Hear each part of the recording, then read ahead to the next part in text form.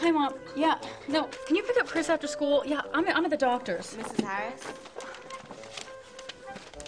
Describe your symptoms. H- hang on. Stress, headaches, nausea. Well, I work on Saturdays. And how long has this been?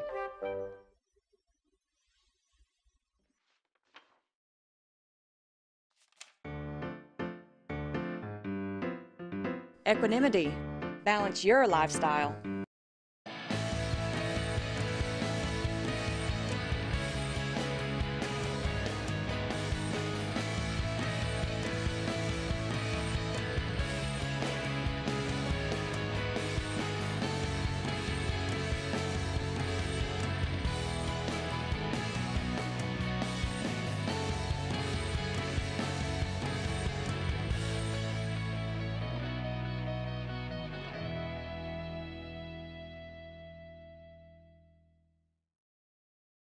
Hello. Good day. Good day. This is the Valder Beebe Show broadcasting live from Dallas, Texas.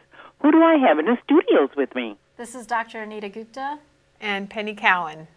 Welcome, ladies. I'm so excited to talk with you. I can I start with you, Dr. Gupta? You're a pain specialist. Set the medical platform for us. Well, pain is a epidemic right now in the United States. It's a public health issue, and, and there are so many individuals who suffer with chronic pain and, and a variety of different conditions. The survey that was conducted uh, by AROCO was really uh, done by uh, done to really explain how individuals are managing their pain, to understand how they're dealing with the pain, the kind of medications they're taking, and there was really an astounding, alarming results that were found in the survey. Penny, how do you intersect with pain that Dr. Gupta is talking about? Um, I'm also a person living with pain, and you know it wasn't surprising to me that in in the survey, what we found is that eight out of ten people experience some form of pain. But what, what what's really surprising is that probably close to 50% of those feel pain, experience pain almost on a weekly basis, but only 31% of those feel like their pain is being controlled.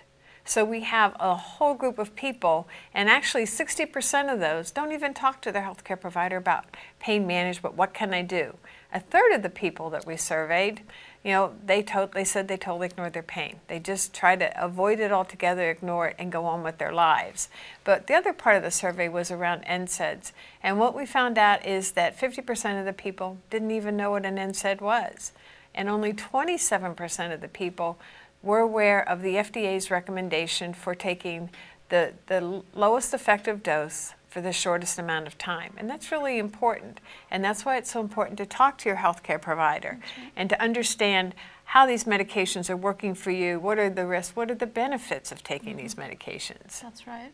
Dr. Gupta, I'm really big on uh, hearing the prescriptions from you guys as doctors. It doesn't seem it doesn't seem to matter what's wrong with you. You have a standard prescription.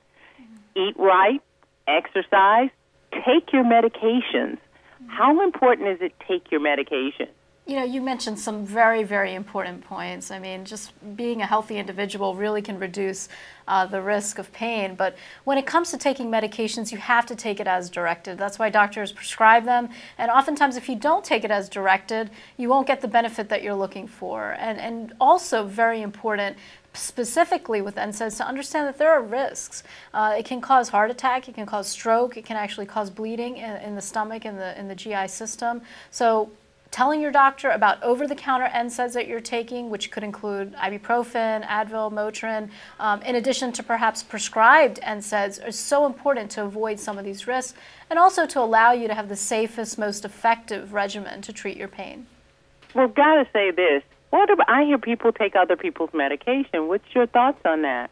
Well, look, you know, that's not, you know, really a great way to control your pain. I mean, you know, People can have drug interactions. Everyone's made very differently. There's other medical conditions that can impact how a drug works. So that's not really advisable. I mean, the best thing is to talk to your doctor, talk to your pharmacist, make sure you understand all the options that exist, understand how to take NSAIDs safely, and really, you know, have that conversation, which could really change the course of your treatment.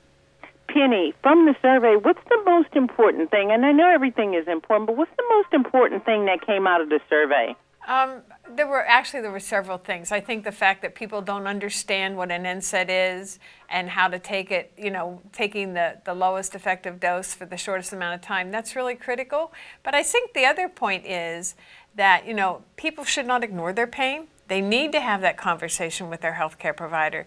They need to talk about what all their options are, what medications are appropriate for them given their condition, uh, what are the other things that they can do, what are some of the other things like acupuncture, you know, physical therapy, counseling, nutritional guidance, all those things. What can what can the physician recommend? And then what are the self-management skills that an individual needs to know to really begin to take that active role in the recovery process. So rather than being a passive patient, they become an active participant in their health care, and that's really how it should be. We should take an active role in our health. We should understand what we're taking, how to take it, how much we should be taking, taking it as prescribed. I mean, all of those things are so very important, but also the exercise and nutrition, you know, managing stress, pacing, all those things are really important in learning to live a full life in spite of pain. Thank you so much, Penny. Dr. Gupta, you're considered one of the top pain management specialists. Is there any parting words would you like to leave my audience with that will really help them be on the right course? You know, one of the most important things that I can tell you, and you know, something that I really strongly believe in is really talking. Uh, talk to your doctor. Uh, you know, I take a very active role in my patients' care. I ensure that their pain is clearly explained to me so that I can treat them more effectively. And that means talking about just being healthy, talking about all the medications you're taking, even over-the-counter medications, and understanding some of the risks that can occur and, in, in when you take all these medications and all the other treatments. In order to have a comprehensive treatment plan that's effective, those lines of communication need to be open uh, between you and your doctor and your family. Thank you, ladies. This has been very enlightening. Is there a place on the web my audience can go and find out more information? You know, I think the best place for them to go to find out what's best for each individual is to talk to their own healthcare provider. I mean, that is the best place. There's a lot of good sites out there on the web, but if they want to know about what's the best treatment for them, they need to talk to their healthcare provider. That's correct. Ladies, great advice. Thank you as always, and thank you, Dr. Gupta. Thank Talk you. to you soon. Thank you. Thank you. Bye-bye.